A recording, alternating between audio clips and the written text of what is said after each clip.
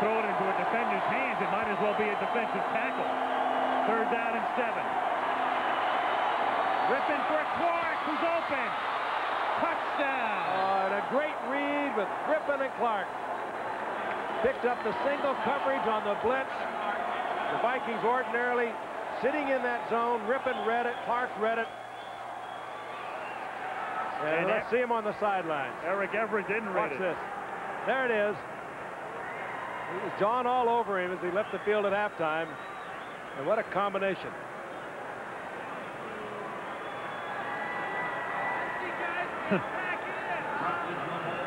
Wide open. Back of the end zone.